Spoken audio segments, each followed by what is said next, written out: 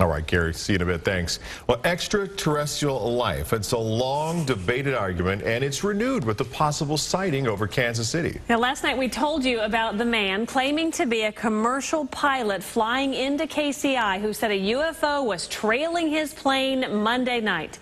Today, Zach Tecklenburg spoke with the woman who took his report.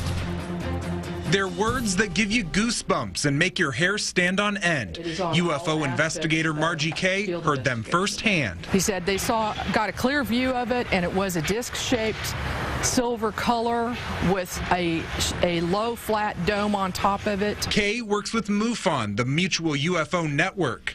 As he slowed for approach, slowed for landing, the object also slowed and it stayed with them for approximately 20 minutes. With 30 years in paranormal investigations, Kay says even she is impressed by this possible sighting, especially since it comes from a man claiming to be a pilot.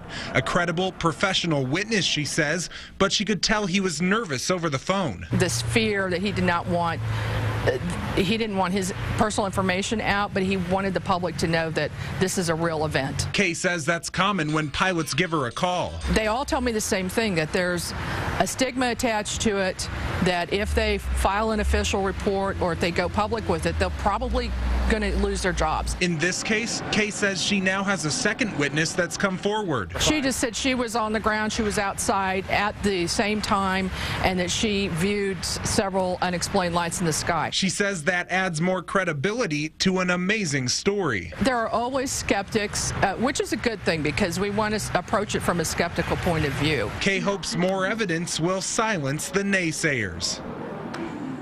Margie Kay just emailed me this afternoon and told me that they have one more witness that has come forward. Now, one possible explanation for this all, it could be a drone aircraft, but I talked with the spokesperson at Whiteman Air Force Base this afternoon who said the base does not fly unmanned aerial vehicles in Kansas City area airspace. You can read the full report and watch our previous coverage by clicking on this story at kshb.com.